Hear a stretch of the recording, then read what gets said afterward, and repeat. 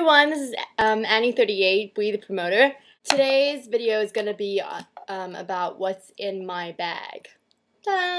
Um, I have with me just my top picks for what should be in uh, anyone's bag, any girl's bag, okay? Nothing too complicated, but just a few very important things. I think um, some very, like for lip products, I think you should definitely have a lip balm, especially if it has an SPF and organic is always good. And then I think that another very, very important thing is a lip tint.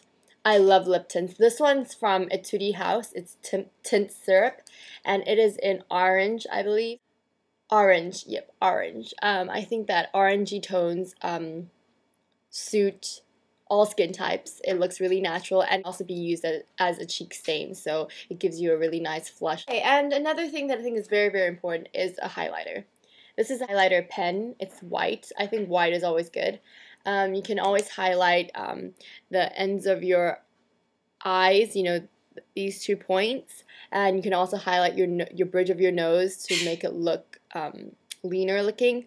And it can highlight like anything or your brows or whatever. Um, and I think it's very useful. It's an all around useful stick eyeshadow and it's very like I use this all the time and you know it makes you look like you're more and you're more in the groove.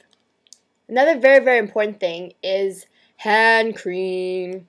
See, I've used a lot of this already, but I think a nice hand cream is always important because, for example, if you're gonna go on a date or whatever, and you know your your hand, the person wants to hold your hand, but your hand's all wrinkly and, and gross and old, that's just not very attractive. And you know your hands give away your age yeah, so there's no point of like, you know, um, having like really, really beautiful skin, but your hand skin is kind of like yucky and old looking, and that's just not that great. So I think that everyone should have a hand cream, especially if it has an SPF.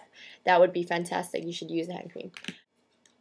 Um, next very important thing is oil blotting paper because um, you have to use this before you plot um, an extra layer of your powder yeah, I think oil blotting paper is very important. Um, so it doesn't give you that cakey look when you, you know, put more powder on. You know, sometimes you have that greasy, oily under, layer underneath your skin and it just like this just doesn't look that attractive. So I think oil blotting paper is very important. And um, yeah, last but not least, definitely have a powder pact. Um, sometimes in your greasy days, you know, you look, you don't look that great, you look kind of dull looking. Uh, I think powder is always very, very, very handy dandy. So um, get like a nice powder that has an SPF. This one has an SPF. It's SPF 50 plus PA plus plus plus, so that's pretty good. And it's MB21.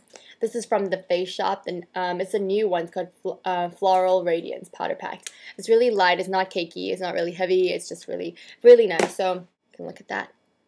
See? And it's just very normal. It's got a mirror. I've used so much of this. You can see because, you know, but um, I really, I rarely finish powder packs um, except for a few brands, and I think this one is um, something that I really like from the Face Shop. I usually never like anything from the Face Shop, not that much powders, because it usually turns out a bit white and not natural looking. So, and this is in 12 gram, 12 grams. Yeah, so it's cool. And um, last last, last thing that I think everyone, a male and a female, should have in their bag is gum. Like, isn't it horrible when you talk to someone and they have stinky breath and it's like you don't really want to not talk to them, but you kind of want to avoid their mouth because they stinky and it's not that great. So, so these are my top picks. Okay. Bye.